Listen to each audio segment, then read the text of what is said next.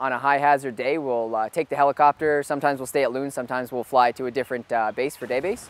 And we'll wait for a fire there and uh, we'll get the call, we'll get in the helicopter and we'll go try to put the fire out. Uh, low hazard days, it's just basically just keeping yourself busy and, and uh, doing lots of training exercises, saw training, pump training, mock fires, things like that. The last shift I had, we had uh, three or four fires out of the 15 days, so that kept us pretty busy. After and before a fire, we have to figure out all of our equipment.